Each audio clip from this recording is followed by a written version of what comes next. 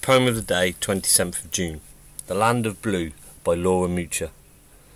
In this compassionate poem, the poet, Laura Mucha, conjures up the land of blue, an imaginary place which characterises how you might feel if you or someone you know feels sad or blue.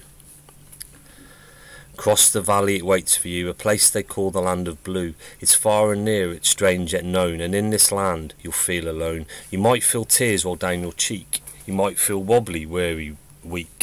I know this won't sound fun to you. It's not, this is the land of blue.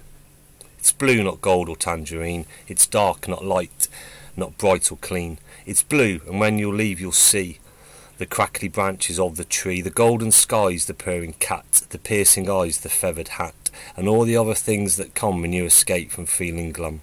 Across the valley it waits for you, a place they call the land of blue, and going there will help you now, how others feel when they feel low.